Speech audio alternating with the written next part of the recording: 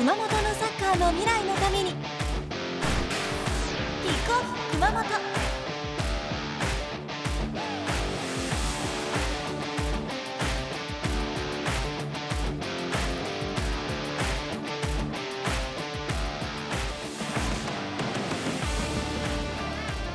熊本をホームに活動しているプロサッカーチームそれがロアッソ熊本。現在明治安田生命 J2 リーグに所属しています。今シーズンはチーム史上初となる天皇杯ベスト4進出を果たすなどサポーターや熊本県民に勇気と感動を与えたチームです。この番組ではそんなロアッソ熊本の知られざる内側をお見せしています。今回もコーダちゃんがボランティアスタッフを体験し頑張っている方々を取材していきます。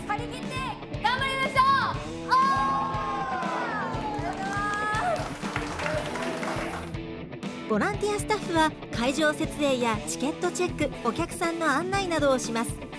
コーダちゃんは前回会場設営を体験しました。ボランティアスタッフの仕事はまだまだ続きますよ。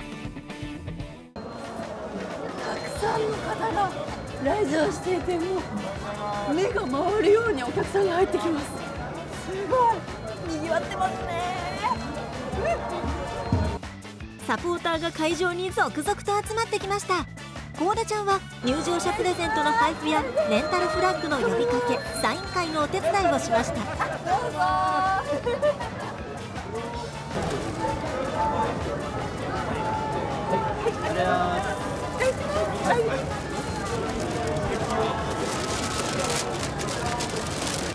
選手もスタジアムへ入場し試合も始まりました。そんな中ボランティアスタッフの皆さんは試合中もサポーターが楽しく観戦するための仕事をしていました。このボランティアをしてみて、はい。実際にやってみてどうですか？やりがいとかありますあいやありますね、さっきもあの92歳のおばあちゃん来てくれたんですけど、もう顔見知りになってますからね、お互いにここで挨拶して、今日も頑張りましょうって言ってですね、お互いに元気をもらってやってます。交流の場みたいな。はい、楽しいですよ。ボランティアのやりがいっていうのは何ですか人生の生きがい。20年目になるあのそれがなくなったらなんかぐっと年年取ってしまうような気がする。やりがいっていうのは何ですか、やりがいですね、まあ、いろんな人とやっぱり会えることじゃないですか、体力の続く限りはやりたいですけど、ボランティアスタッフの皆さんいつもありがとうございます。今シーズンもお疲れ様でした。ただいまから、えー消防体験を実施します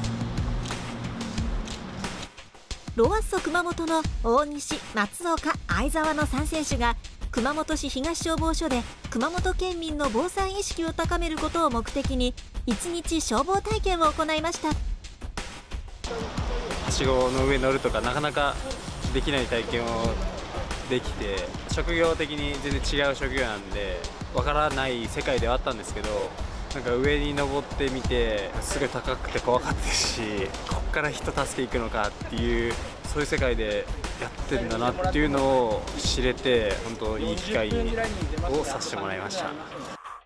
人のためにというかそういった気持ちがちょっとやっぱはしご車で上がっていく時とかもちょっとなんか芽生えて、まあ、そのサッカーも、ま、人のためにとかそういうところつながったりすると思うんで。こういう体験ができてよかったなと思います。まあ、このようなこの地域の貢献というかこういう機会っていうのは本当に、僕たち選手にとっても貴重なことだしありがたいことなのでまたこういう、地域に貢献できるようなことをしていきたいなと今日改めて思いました。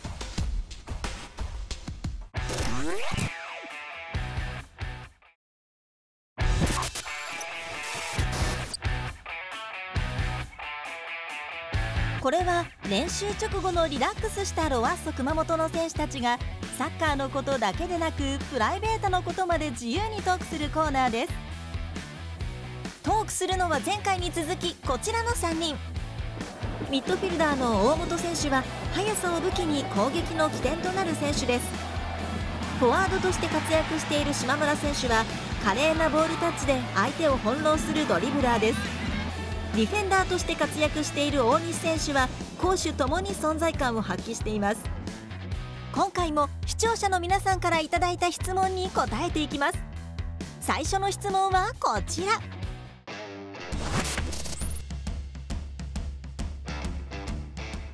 シーズンオフには何をしたい？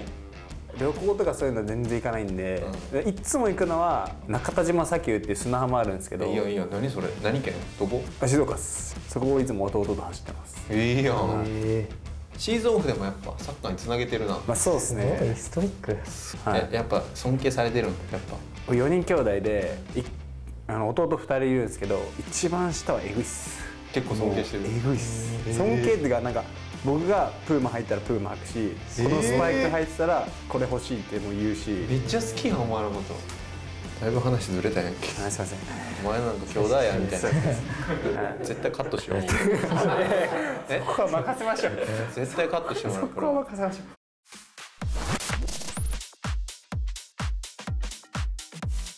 去年とか一昨年とか東京とか行って、まあ、観光とかまあしましたねそういう。弱い。いや弱い。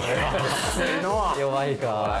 そういう。東京それそれ一人で行くの？家族とか？いや一人で行って、まあ、友達とかでやってみたいなもんな。まあ友達と会いますけど。おる？友達。おるおるおる。おる？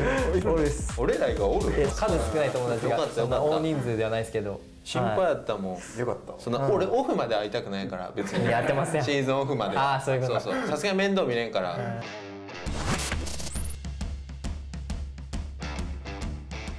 野本君の大きな予定とかあるんですか？今年はあるよ。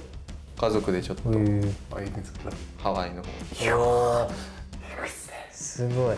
ちょっと初めて家族旅行で行こうかなって。写真送るわ。いっぱい。ちゃんと返事してな。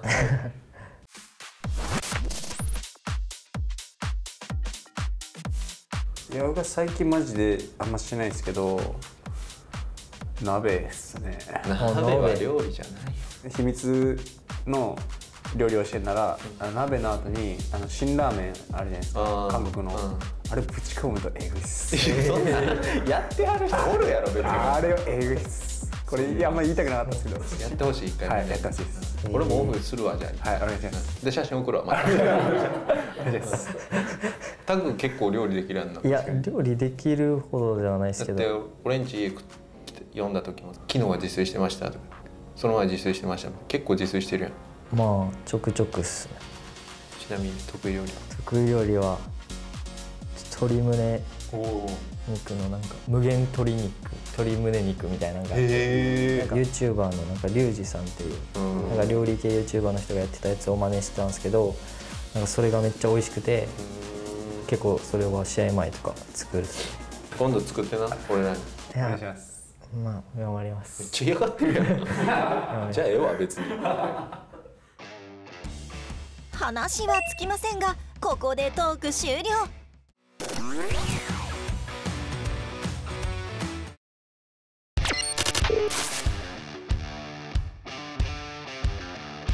これは熊本のサッカーチームがキック精度を競うゲームにチャレンジするコーナーです。今回挑戦してくれるのはサイレコエスペランサ熊本サッカーを通して自己向上意識を育てることを目指しているチームです。ここでルールの説明です。ゴールから8メートル離れた場所からキック。持ち球は10球。4球失敗した時点でチャレンジ終了です。それではチャレンジスタート。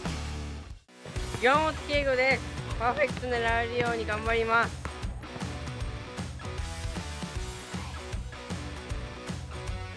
左下狙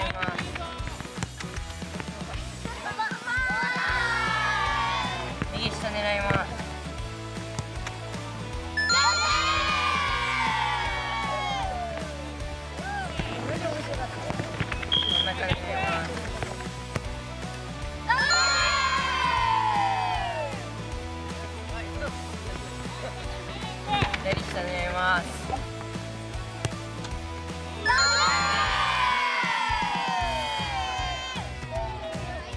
なんと3本続けて成功。